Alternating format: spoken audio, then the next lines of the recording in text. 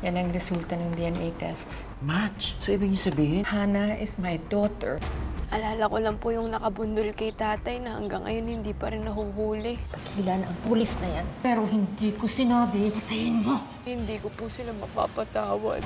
Lalong mangungulila ang kanilang puso. Iniwan ka na ng nanay mo. Bakit mo pa hinahanap? Hinahanapin niya ako kasi naririnig ko yung boses niya. Teka lang, Nathaniel. Bakit nga ba ko yung nakakamilig ng boses ni Dr. Hill sa langit? Kung naririnig niya yung boses ko, alam ko nararamdaman niya kung gaano ko siya kamahal. Sino pong mga magulang ko? Ito ang katotohanang nakatakda ng mabunyag.